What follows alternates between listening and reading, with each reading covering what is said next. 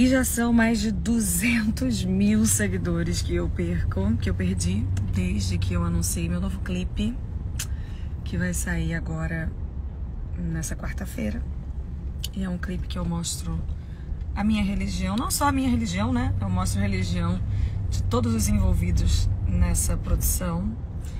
É, Gabriel do Borel, por exemplo, que é evangélico, tem a religião dele. Um, tem, tem todas as religiões, não todas, mas tem várias religiões no clipe.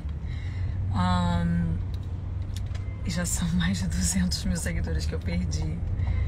Eu ainda fico um pouco assustada com a falta de evolução do ser humano, né? Nos dias de hoje, ainda um retrocesso tão grande nesse sentido de aceitar, de entender, de, de respeitar os caminhos das pessoas. E deixa eu tirar aqui as, os comentários para eu não me confundir, porque eu me confundo quando vejo os comentários. Ah, aqui. É, eu ainda fico um pouco assustada com isso, como o ser humano vai passando o tempo e o ser humano está mais intolerante. Ao invés de estar tá se aceitando mais, de estar tá se, se respeitando mais, né? Tá o oposto. E gente, para todas as pessoas que que pararam de seguir ou que comentam comentaram na minha foto com repúdio, eu acho importante manter lá para as pessoas verem que existe, né, que tá aí, que precisa ser combatido. Combatido com amor, não é combatido com raiva, com nada disso. É, a minha religião ou as, as as coisas que eu sigo, né? Porque eu tenho o candomblé na minha vida desde criança por conta do meu pai, né? Todo mundo sabe, quem é meu fã sabe que eu sou do candomblé por conta do meu pai Mauro. É, mas também é, meu pai, o meu pai Mauro, ele, ele me apresentou o candomblé, mas ele também ele tem as coisinhas dele de umbanda. É, eu frequento de tudo, xamanismo. É, eu tenho uma playlist no meu, no meu Spotify de é, só de música gospel, música católica, como todo mundo sabe, né? Eu, eu cantava na igreja quando era pequena, minha mãe é super católica. É, tem 244 seguidores apenas, porém tá lá tem orações. E é uma grande mistura, porque nessa playlist tem música evangélica, música católica, oração de São Miguel. Né? Eu ando aqui na minha. Eu ando aqui na minha, na minha bolsa com um terço que eu rezo com a minha mãe. Tô sempre rezando esse terço.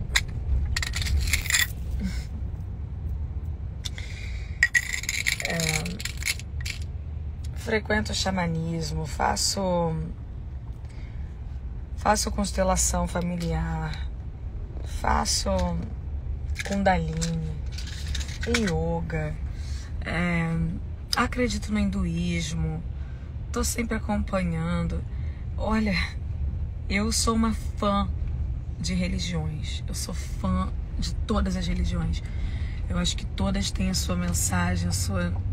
No final, na minha cabeça, todas são uma coisa só, te levam para o mesmo caminho se você segue é, pelas razões corretas, né? Eu não sigo a minha religião por medo de nada. Eu não sigo minha religião por medo de julgamento. Eu não sigo minha religião por medo. Eu não é, eu não sei como é na sua religião, na sua casa, mas a minha crença é que quando a gente morre não vem Deus com a chibata e bate em quem foi, foi ruim, em quem foi viado, em quem foi macumbeiro e eu não, eu não acredito nisso, entende? Eu acho que quando a gente morre, a gente enfrenta a nossa própria prisão, nosso próprio julgamento. A gente enfrenta a nós mesmos. Então, na minha cabeça, Jesus mandou a gente amar as pessoas. Eu não consigo, na minha cabeça não entra é, a possibilidade de, de pessoas, a, a, possibilidade de que o ensinamento de um, de um espírito tão elevado tenha sido vir pra terra e falar: olha, quem não, quem for viado, vocês têm que xingar, hein? Quem for viado, vocês têm que excluir, vocês têm que bater, vocês têm que falar que eles não são bem-vindos. Quem for macumbeiro também. Quem for, sabe, eu não consigo. Pra mim não entra. Um espírito de luz não pode. Na minha cabeça não, não existe essa possibilidade, sabe? E até mesmo para as pessoas que têm intolerância, aí você fala, ah, não é obrigado a te seguir. Então, ninguém é obrigado a me seguir, ninguém é obrigado a gostar de mim. Ninguém é obrigado a gostar de mim. Mas você gostava, você seguia, agora você não gosta mais e você para de seguir porque eu sou macumbeira. Sabe, para mim é uma intolerância. Intolerância é você não tolerar. Você não tolerar, você não querer ver, você não querer assistir, você excluir. Você para de seguir, você exclui da sua da sua roda de aceitação. Por isso essa música chama Aceita. Eu já sabia que esse que esse clipe, que essa música, que esse álbum seria um álbum bem desafiador na minha vida. Por ser um álbum que ele não traz nada que tá bombando no momento, né? Não tem uma caixinha para eu me encaixar nesse álbum. Esse álbum não tem um um, um lugar, uma prateleira na estante que a gente possa falar: Oi, todo mundo faz isso aqui, esse álbum tá aqui nessa prateleira dessa galera que faz isso. Não, é um álbum todo de funk, que o Brasil ama funk, mas não é em português, é em espanhol e inglês.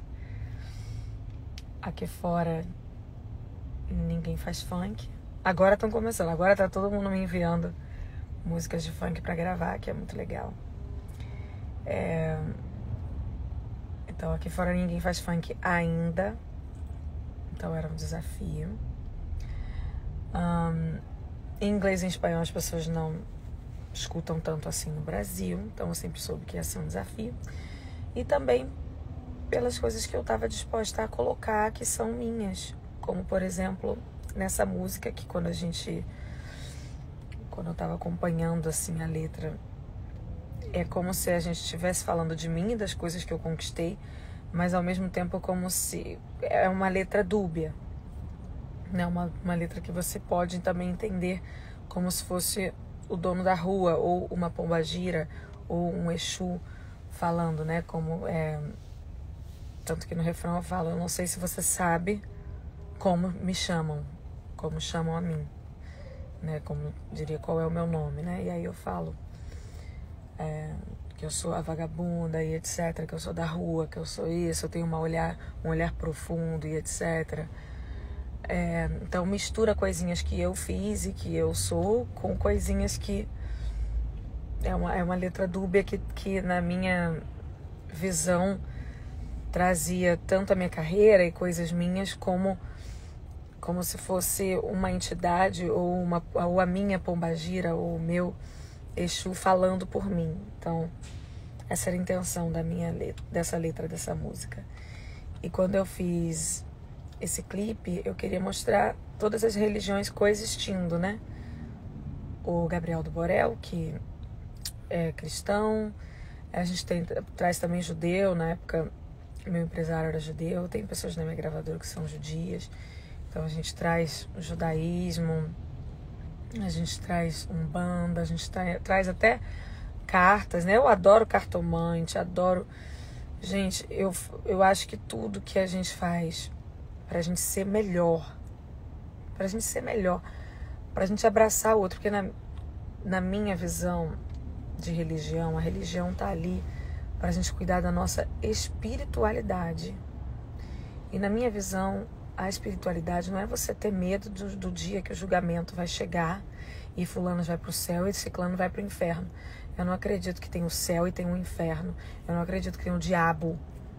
Eu acredito que tem o, o, aquele espírito que já foi ser humano, aquele espírito que está numa baixa frequência, numa frequência baixíssima de julgamento, de, de dor, de machucar. E quando eu vejo a intolerância religiosa, ou as pessoas falando, ai, sai fora, ai, tá repreendido, tá não sei o que, tá não sei o que lá. Eu só consigo pensar que isso é uma frequência muito baixa. Sabe? Isso é a tal da frequência baixa que outras pessoas veem como, ai, o diabo. E eu vejo como uma pessoa, um espírito, um ser que está numa frequência baixa. Eu não consigo ter raiva dessas pessoas.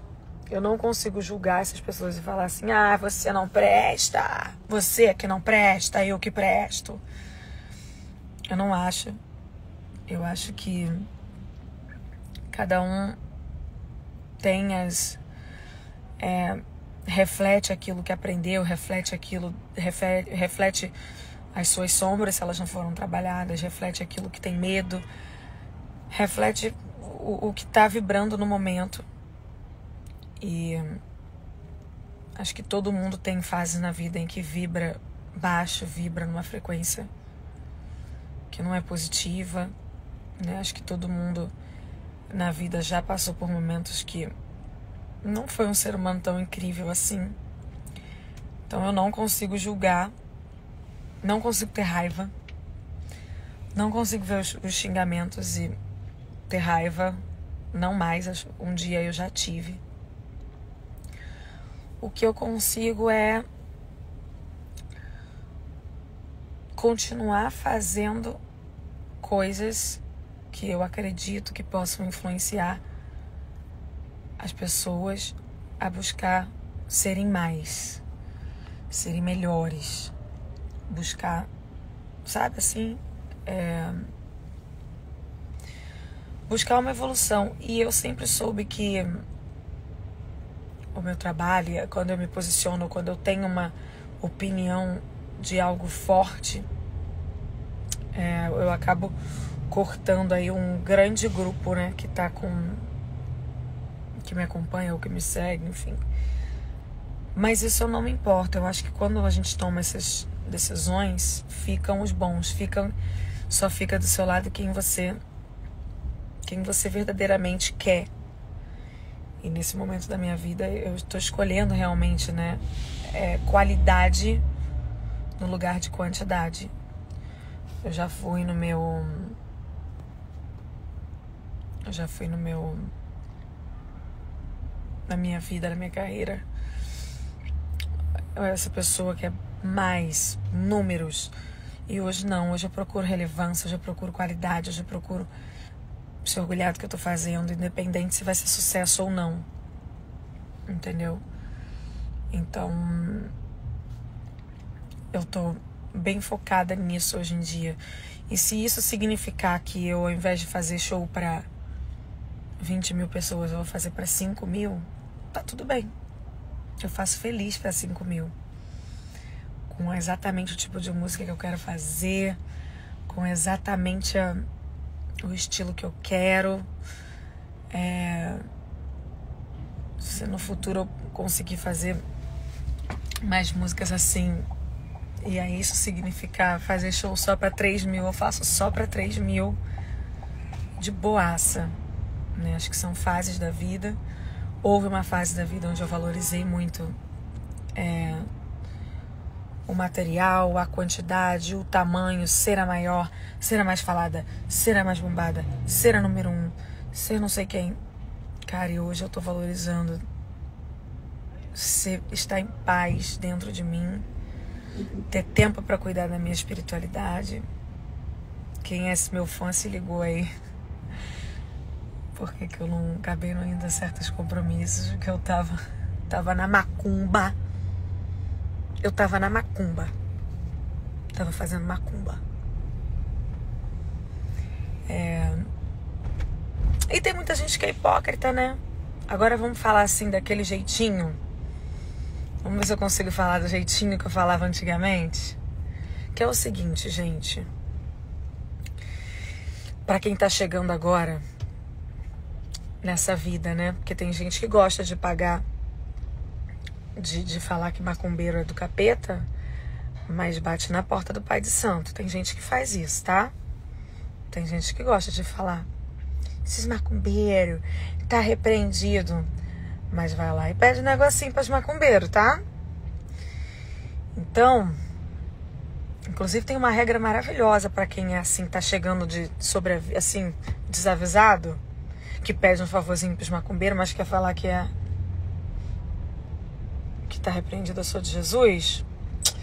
Tem uma regrinha maravilhosa a seguir. Quando que é maravilhosa essa regra para mim, sempre tive vontade de falar dessa regra. Eu não tive um gancho, agora eu tenho um gancho, eu vou deixar ela aqui. Já pode salvar essa regra e compartilhar aí na entre o Novo Testamento da Macumba.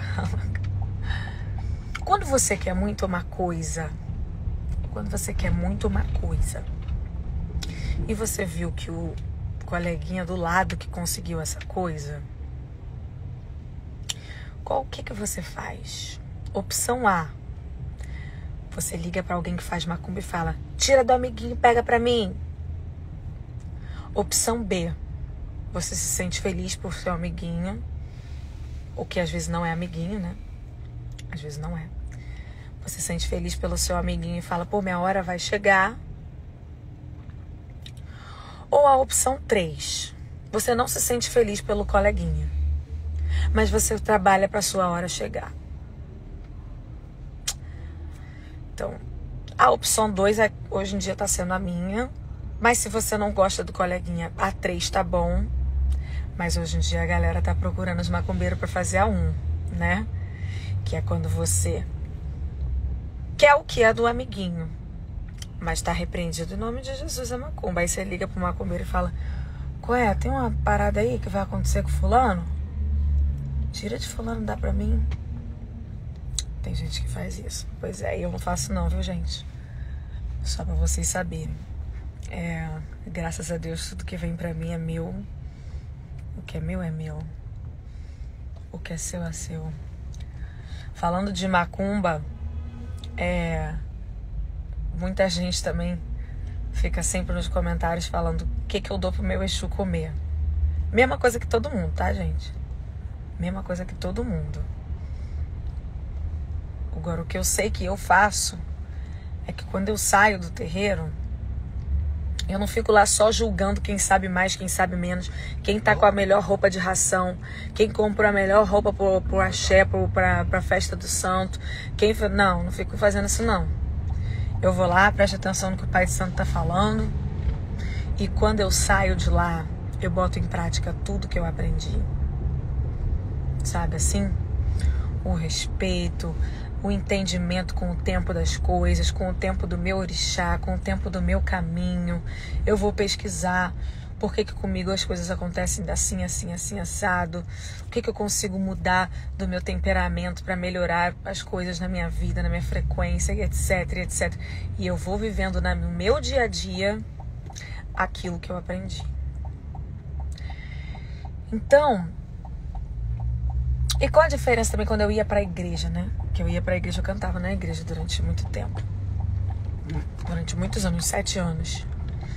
Quando eu cantava na igreja, tinha um padre maravilhoso, Padre Sérgio. Nossa, mas eu amava aquele padre. Ele era tudo em senha por onde ele está hoje em dia. Mas no dia da consciência negra, Padre Sérgio, que não era negro, fazia uma missa em homenagem a, ao dia da consciência negra. E Padre Sérgio fazia essa missa que era maravilhosa. Ele trazia alguns cantos de orixá, ele trazia uns atabaques para. Era uma missa católica. Porém, ele trazia nessa missa, no Dia da Consciência Negra, umas homenagens à cultura africana. Para quê? Padre Sérgio foi esculachado, arrasado por todas as mulheres, as senhorinhas lá da igreja, que iam todo domingo, rezava, rezava, rezava, gritava, rezava, gritava, rezava. Todo domingo. Mas acabaram com a raça do padre, porque no dia da consciência negra ele fazia a missa em homenagem à religião de matriz, a religião não, a, a, a cultura africana e fofocava da vida do padre. E acabava a missa e tava uma fofocaiada. Porque fulana da igreja fez isso, fez isso. Coroinha fulana fez isso, fez aquilo. Ah, porque a ministra da Eucaristia, não sei quem fazia isso, fazia aquilo. E aí eu te pergunto, pra quê? Por que que foi lá, rezou, todo domingo rezou, pra quando acaba a igreja, a missa, ó, A missa começava oito. Deu nove e meia, tu começou. Porque o padre não sei o quê. Porque a irmã do padre não sei o que lá. Porque o padre foi não sei aonde. Porque o padre fez essa missa de, de cultura de macumbeiro. Não sei o que, não sei o que. E aí eu perdi a minha vontade. O padre foi expulso por causa dessa, dessas fofocas. E eu falei assim, mas gente, a gente está aqui todo dia rezando, rezando, rezando agradecendo, rezando. Aí vai várias mensagens de amor, a música que faz chorar, não sei o que, não sei o que. Aí quando acaba, ao invés de a gente continuar proliferando isso, a gente vai fazer o oposto. Aí não tem como para mim. E é por isso que eu fui buscar outra. Outras coisas. Então eu continuo amando. Eu assisto a missa direto na televisão. Como eu disse, eu rezo terço com a minha mãe o tempo inteiro. Chegando no Brasil, eu tô rezando tercinho com a minha mãe. Ou à distância, a gente combina de rezar à distância. Eu com tercinho aqui, ela com tercinho lá. Ó, católico. Eu sou macumbeira e eu rezo terço católico.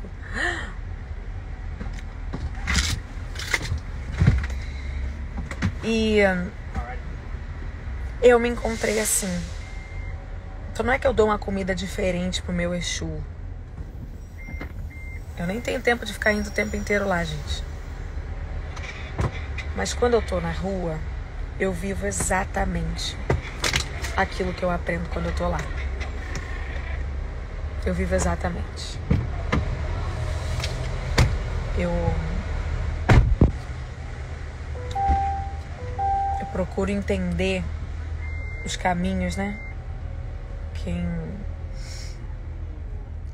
quem entende aí de orixá, de caminhos, de odus, etc., entende. Eu procuro entender os, os odus que se apresentam na, na minha vida. e o orixá tá aí para ensinar pra gente, né? Os ensinamentos das lendas dos orixás. Não é pra gente só ler e disputar quem sabe mais. É pra gente ir pra casa e aprender e olhar assim e falar: Cara, tá acontecendo essa situação aqui. Pô, não vou cometer esse erro, não. Eu vou. Eu vou agir legal aqui, ó.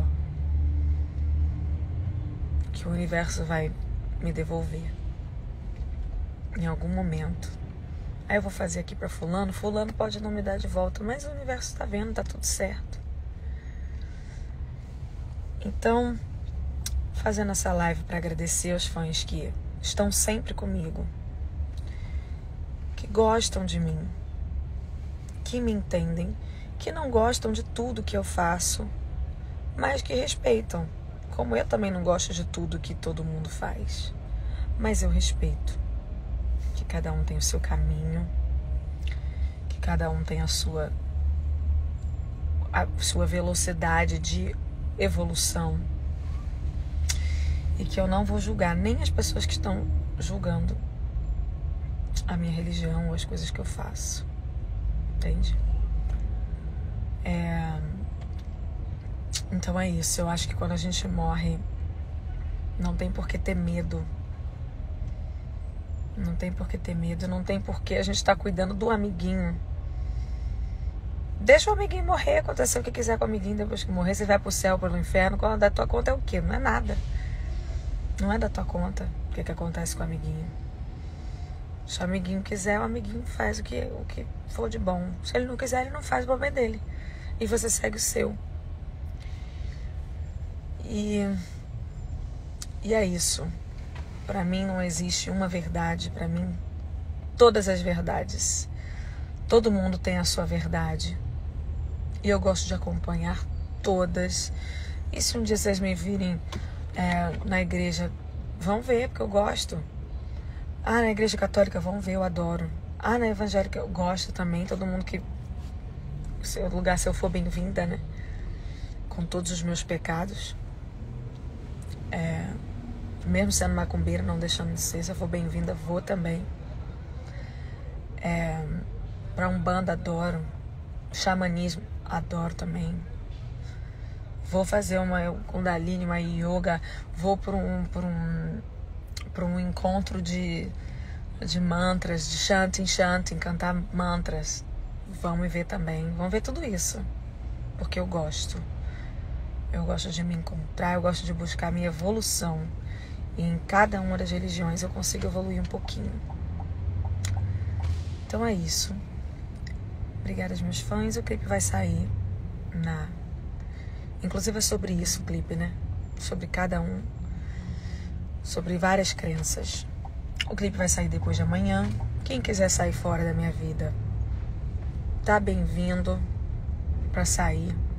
Graças a Deus tá tudo ótimo. Entendeu? É...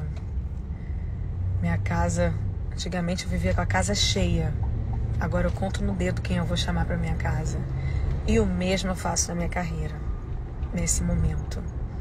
Entendeu? Eu canto para os poucos e bons que estão afim. E quem não tiver afim, tá tudo bem também. Então o clipe sai depois de amanhã. Quem quiser sair, façam boa viagem para onde quer que seja que vocês estejam indo. Quem quiser vir comigo, sobe aí, vambora, na alegria, na felicidade, sem sem isso aqui, ó. Sem isso, que pra, aqui eu não tenho mais tempo para isso. Eu só tenho tempo para coisa maravilhosa. Ok, gente? Um beijo, obrigada. Continue ouvindo meu álbum, que tá muito legal. É o melhor álbum que eu já fiz. Não consigo parar de ouvir e pensar que eu fui foda nesse álbum. Fui muito perspicaz. Um álbum muito fodão. De muita qualidade. Então continuem ouvindo e demonstrando o bom gosto musical de vocês. E depois de amanhã, que passo. Tchau.